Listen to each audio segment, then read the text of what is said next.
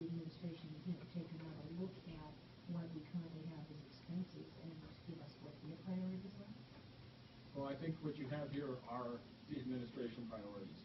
And, and I'll, I'll let them speak for themselves, but they could have, they could have drawn up a, a number of, uh, a number of different budget lines, um, when they, when they talk about level services, uh, with enhancements. I, I think what we're looking at here is, is really what the administration thinks we need to, run the district I'm next not year. questioning. what So we need to have. I, I think any, there, there's no fat in here is what I'm saying, from the administration point of view. I'm So, not saying that there is any either. I'm saying, what I'm trying to say, Mike, is that if we know this is what we really need to have in order to run without having any bumps Reductions in the in road. service.